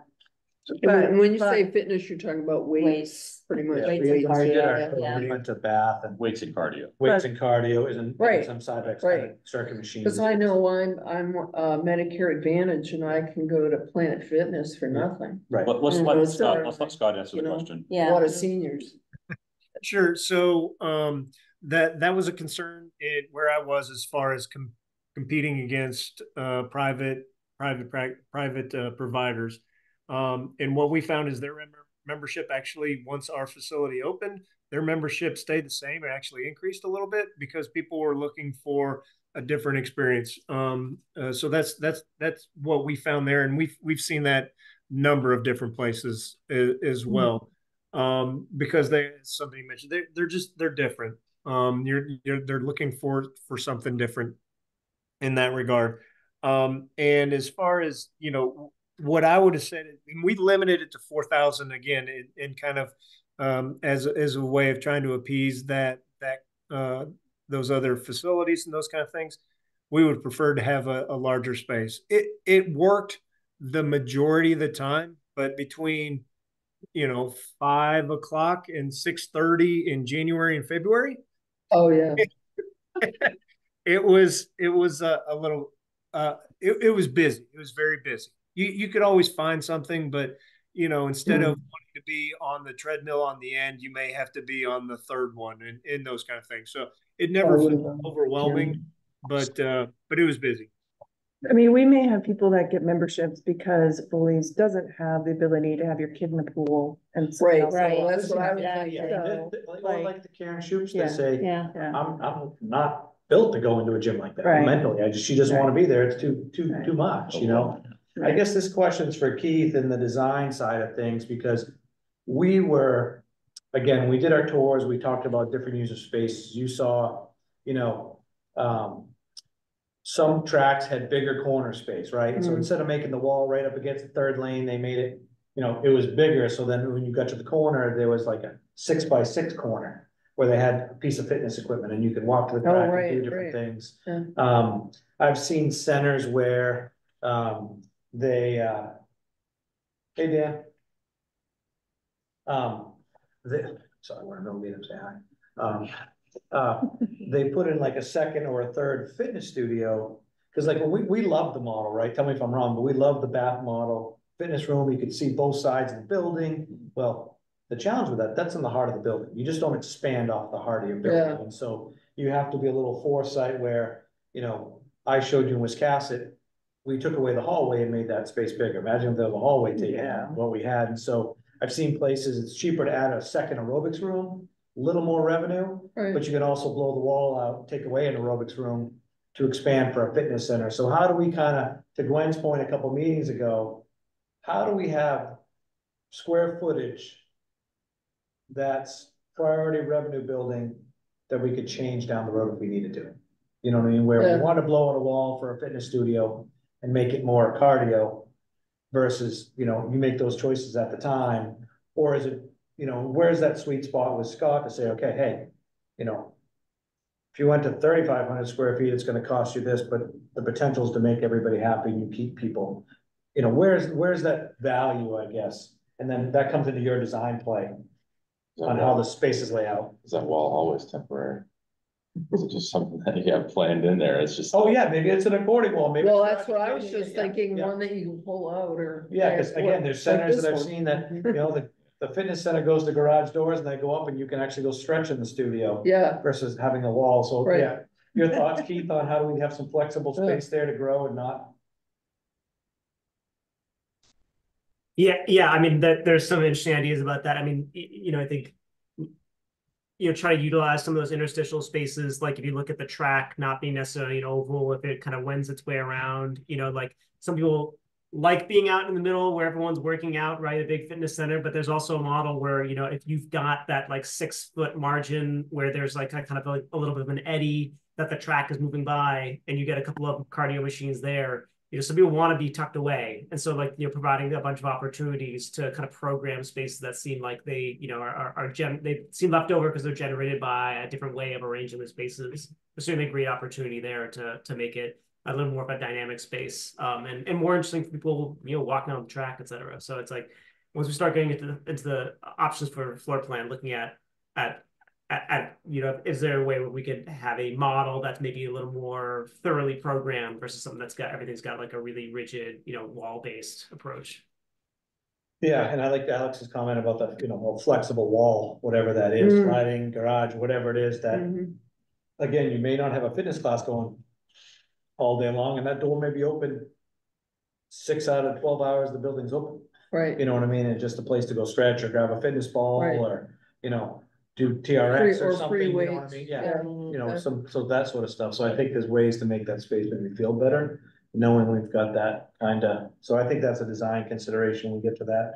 I think it's important to keep Scott's primary comment in, in memory, though, that he thinks that for the facility that we're talking about with the membership numbers that we are talking about, he feels that that twenty-five hundred, and that was It's the one too number of small. all of these numbers that he zeroed in on to say, Yeah. that's something you guys might want to think about. So we can't lose sight of that comment, I don't think, no matter what we do in terms of matter like which way. space or what. And the kids are not coming here for after-school care or anything, that's gonna stay. No, so again, a, a market that's not really built into their thing is, is the team program. Yeah. Oh, You know what I mean, where we don't do. team program right now, because we, we're not getting into schools and we're not having that space where, you know, having that space where it's. Whether it's a program in one of the meeting spaces, or it's actual giving them a gymnasium, Right. or giving them a, a, you know. Or A rec room or game room, whatever, just to shoot, hoop, that, that's an untapped market for Scarborough right now.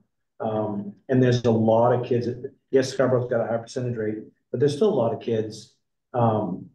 That don't participate in high school level Mhm, basketball, you know what I mean? They Oh, stop right. Something Oh, else, It's like, what are they doing? Yeah. You know, we're, Kramer right now just planned and he's working with a senior at the school. He's doing a three-week pickleball league. Yeah. For kids, it's like five bucks to hop in and he's gonna, he's got the gym between basketball and softball, baseball season.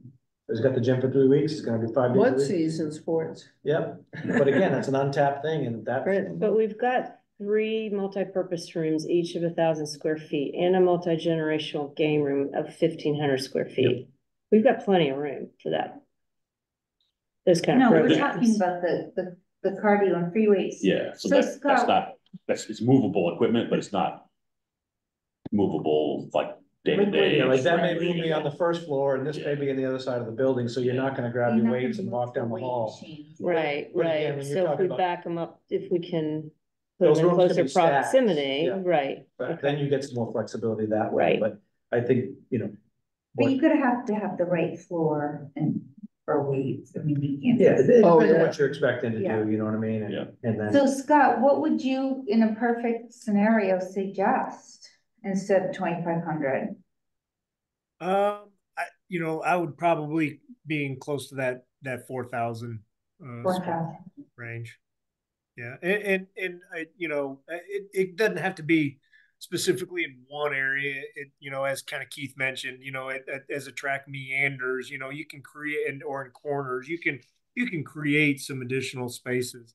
Um, the, the main thing is, uh, that, you know, the, and the nice thing that you guys have is, you know, Keith, we're on the front end of it, right? Rather than trying to create those spaces later on um and ac- Hmm. acknowledging that that those are an opportunity uh to find things So are you saying that's, you, you had four thousand for like the cardio and free weights, you know, not including the fitness studio spaces? Or were that included? yeah, not including. Not including. not yeah. including yeah So that twenty-five would go to four. And I guess the question where, and we kind of, we've been, well, I've been kind of preaching this in the piece where if, when we get down to a point where we gotta make that, get, trying to get closer to ninety, you know, does that help us get there? But what does it do to the build cost, Keith, when we get there? And I would ra, and I'll, I'll lean on you guys when we get to that point, but if it's getting another fifteen hundred square feet on cardio, I mean, on a fitness studio that has a high revenue gain potential Mhm. and shortening a meeting room to two thousand square feet, you know what I mean? Like, where, where do you Right. manipulate the building and where does that build cost start to produce or, you know, the best, if you will? Yeah, we need to be careful here. We keep, we keep adding things and if we're gonna have a wish list. Yeah. I really, I really, really wanna see the um cost estimates for the have to Right, Yeah. things. And then the wish list in comparison, because we may not be able to have the wish list. Um, we just may not be able to get that passed. I'm, I'm confident we won't get. Um, a huge building pass that is more than what a lot of people think we need. I mean, there are a large number of people in this community who think all we need is a pool. right. And, and we, we really need to be careful and, and yeah, we can earn more money, but we're still only at ninety percent. If we were at hundred or hundred and ten percent, where we're, where a larger space gives us an opportunity to make more than. Than our expenses, and that can go toward the cost of a bigger building, that's one thing. But at, at ninety percent, we're never gonna be there, so everything that we add is just adding cost and not. Helping the taxpayer, Right, where's that balance Situation. of value? right? Get it? Okay. Anything else from Scott or Keith to go over today? Good there? Okay. What do they need from, that's my big question in my head right now, like, what, what do they need from us to be able to, for me to get some work, to get back to you guys and say. Does this reflect what we talked about? You know what I mean? And is there anything that we can do to help to get, like, I've got cost estimates from Pay Yeah, on membership costs and everything. what's next for us, Scott and Keith? Uh, so yeah, I, I think it's just getting back that that feedback from you guys on these operational items and issues and, and those kind of things that we discussed and um, you know, then we can we can you know, I, I don't know that we need to to truly um come back with a, another model until we get closer with the concept. True, you know, once you start laying things out, I think the it kind of comes in tandem with as as Keith and them work through their processes of laying out what the facility looks like.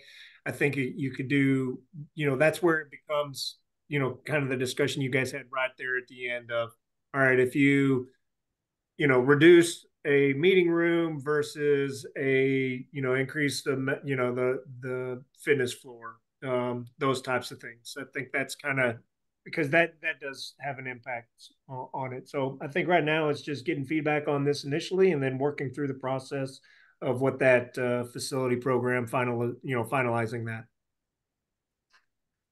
Yeah, Okay. I think, you know, apart from the, um, that one program size, you know, everything based off, you know, one of the next things we were going to do is start looking at some kind of prototypical, uh, layouts, like a site list layout at a couple of different models, like a one story or two story. And that will just kind of, uh, prime us for looking at it if, uh, if and when there's kind of sites available to test fit it on. Um, So is there, will you come back to us? When you start talking about prototypical designs, one, two, one and a half, or whatever, um. Obviously, one is more cost effective enough than others, depending on your site, is there like a sweet spot, you know what I mean? As far as building design, Um. I- I mean, the, the site improvement costs versus, you know, building up with an elevator, I, I mean, I don't get the sense that one is like a far away winner. Uh, it, it- it's just gonna depend so much on, on the site. Um, I think how, how things lay out, there's obviously some, like some efficiency, uh, when you're Mm. looking at, um. Yeah, the, if you the- have flat, perfect five acres. Where's that? I got one. yeah, yeah, yeah, somewhere in mind. Um. I'm just kidding, I'm putting you on the spot. Mhm. Um, Mhm. Jim, I feel like we didn't involve you in the discussion as much as we should have here. Do you want to chime in with anything, or do you have some thoughts to share?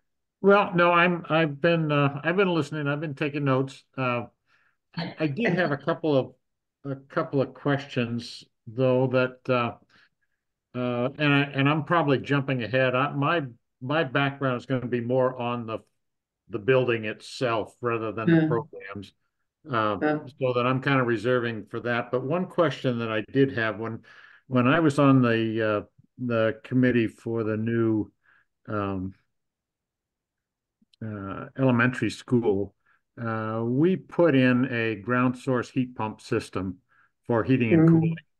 Uh, and that's been in operation now for a few years. And Todd, I was wondering if this, if somebody at the school department could give you some kind of a sense of how uh, effective that was. Uh, we looked, obviously, there's higher capital costs associated with initial, but the uh, the trade-off is in the energy and where this facility is going to have a pretty high energy demand.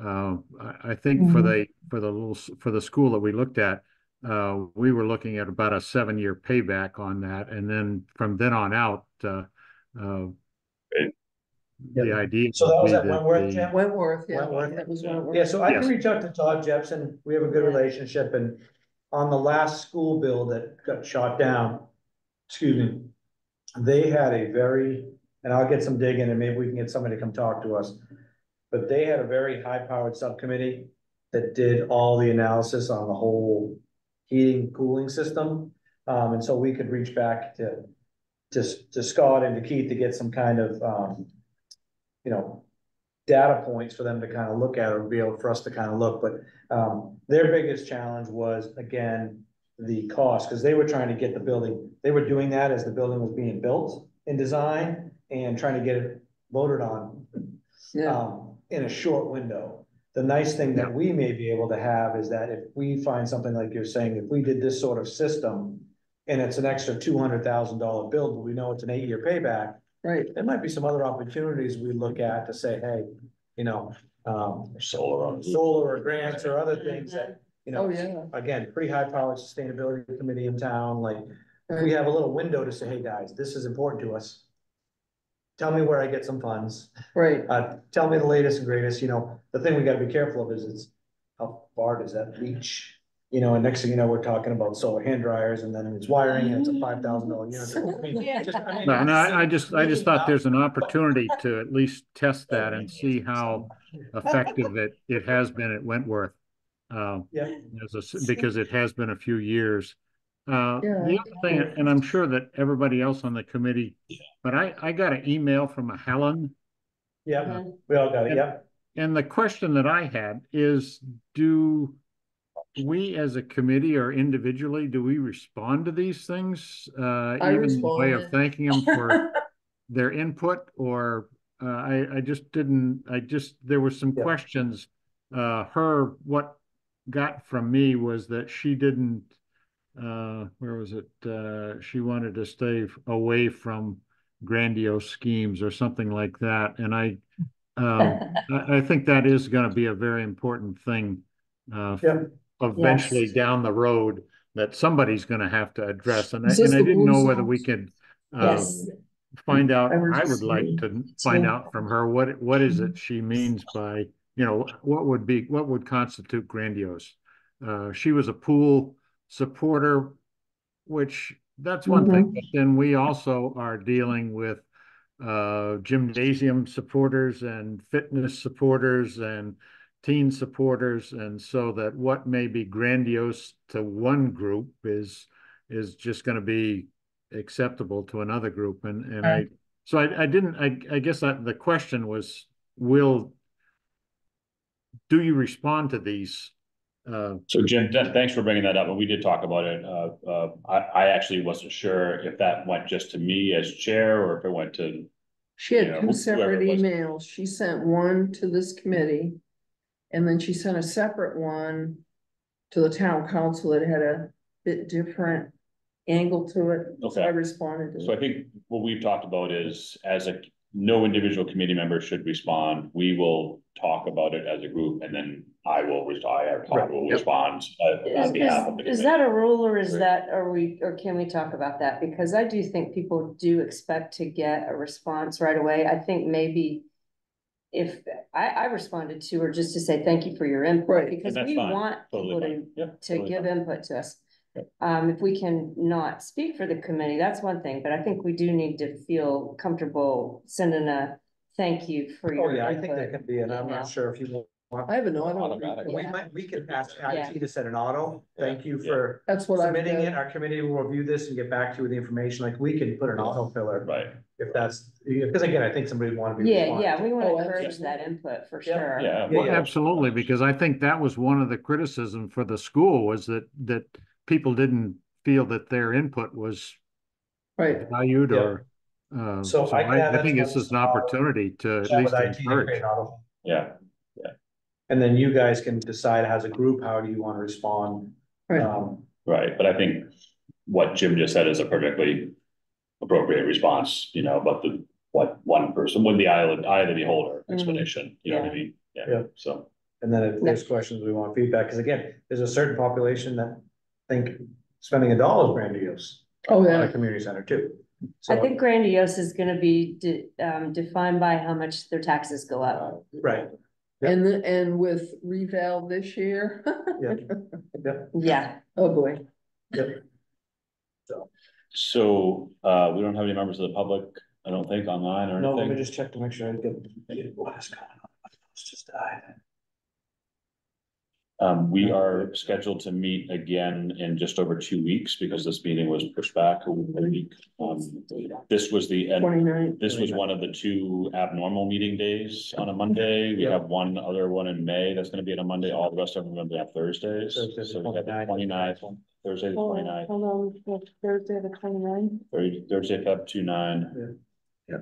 And I'll probably be attending. And I via expect all of Zoom. you to be in your most wonderful leap year attitude moments. Oh, that's right. Oh, yeah. Um, What are the next? Sadie and Hawkins then the one after that is just for planning purposes is Thursday, March twenty-first. And both your chair and your vice chair will be in Florida together. guys travel the same We would way? both be away, so um I'll be zooming into that and. I hope I don't have a baseball game that night. Uh, I don't know if I do or not, but I will not be zooming. you will not be zooming into that. So we'll have to, so um, just for that being, everybody, please double check your calendars for that night. Because if we have a, no, if we have to have a quorum Yeah. for any sort of vote, we want to make sure that we have that. So What's the date the again? 29th. Twenty, Twenty. Twenty-first. March twenty-first. March twenty-first. March twenty-first. March twenty-first. Yeah, so if there's a conflict, and again, I'll- we can double, Dennis is gonna watch this after the fact, we can double check with him. Um, because he's the only other person. So, um, There's nothing in between those two? No, no, so we're going every three weeks, but we're an off cycle because we pushed off Yeah. a week. The one date though too, and I don't know if I told this, Keith, uh, Karen Shoup, um. Is the finance committee in town, when you're getting into budget season, they sent April eleventh and twelfth, Thursday, Friday. As budget days for the town, and so. committees. Keith, we had that eleventh, I think, is our public meeting, so based on once we get kind of finalize the schedule, once we kind of see where you guys land now that we're a week back. Looking at another date to put out there because I want to put it out to the public like What's the dates right there? sooner than later, so nobody's like, you know, start advertising the heck out of that meeting, you know? Whether it's gotta be a week later or whoever, Keith, you think that fits into the schedule, but some dates that Patrick can vet with this group. Yeah, yeah, uh, agreed. Actually, Brett can't make it that date, and that's important for him too. So, um, Okay. yeah, let's So just if be you in could, so if you look at the timeline and throw, throw Patrick and I an email on some dates that work, and he can vet that, we can vet that through this committee to set that public meeting, because we want to make sure we can reserve a space. And, because it's gotta be big enough to, to to hopefully host hundred people or so. And we only meet twice between now and then, so I wanna know what the heck we're gonna present and Yeah, so did you hear that where question? we're gonna be at at that time. So. Thoughts? Yeah, so we were looking at, at kind of having, having three stations, uh, then, uh, kind of program, uh, really delving into the program with the cost impacts and the membership info. Um, so that was kind of, that's kind of like, you know, one station, that's kind of the, the operational analysis, you know, what we've been talking about now, but kind of fine tuned and, and made a little more approachable. And then, you know, we were, we were hoping to do some site scoring and talk about here's where we're considering uh, and the pros and cons to get uh, public feedback on on those locations, and then you know a kind of a more touchy feely like look and feel uh, station where you know we we've solicited for some feedback about you know what the kind of nature of the uh, of the spaces uh, and the building itself would be like. So people can start visualizing what they look like and kind of what the program looks like. Is that the April eleventh? That's Yeah. April It's eleventh. scribbled in my, I have one of these So little that'd be- fashion planners, I couldn't Me figure out too. what That'd be the heck. Keith, you or the heck is there'd be that? a, a person, uh, one of the professionals who would be manning each of those stations and kind of facilitating a discussion, and then we would rotate twice to get to everybody to be able to go to each of the stations kind of a thing. Yeah, I, I think so. You know, I, I think we need to drill down a little bit on what it looks like. But yeah, we, we would probably have Darren come in from out of town. Brett, Brett would be there. I would be there exactly, and and we would figure out whether it's you know over the course of like a Saturday morning or uh, or something like that. You know, um, or alongside another event. You know, we kind of missed an opportunity in in December to maybe join up with uh, the Santa event that was happening in uh, at, at the um, right in the middle of town. So you know maybe, maybe uh, between now and then we can look at you know, really tailoring this to to to maximize the uh, interactions and involvement. So for each of those three discrete pieces, there would be a, a staff person kind of presenting, here's what we are thinking so far, here, here are the things we'd like to get some feedback from you on, and then collecting that data. And then taking that back to the committee at a subsequent meeting to digest it. Right. Yep. And I found- Mhm.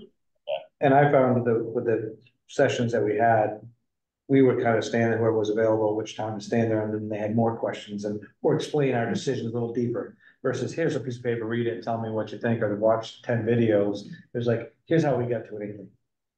You know what I mean, we be a little more personal and, you know, and get that kind of detailed information that sometimes people just wanna. Tell you, you know, cause they know you, or Yeah. to think that you can share that with, or they're not gonna say it in front of the six people standing in front of Keith. Yeah, You know what I mean? I'm really We could concerned about, pre-commitment membership drive. yeah, exa- yeah. yeah, there you go. So, Uh, yeah, so I'll look at events. Keith, that are around that time frame that we may be offering. Easter unfortunately is really early this year. Easter is, It's like the first. Uh, it's the Yeah, thirtieth or something. Yeah, it's the it's so early. It would have been perfect, it was mid-April like last year, cause then we could have been in the gym with, with this group and then having, you know, three hundred people on the other side doing Easter breakfast, you know what I mean, so. Um, so I'll look at a paired event that, to kind of draw some, or what else that is going on in town. Okay. So, All right, anything else? We're Good, Motion to adjourn? all right, all in favor, thank you. Thanks, guys. Thank you. Good night. Thank you. Thanks Keith, thanks Scott. you. Right. Thank you, everyone.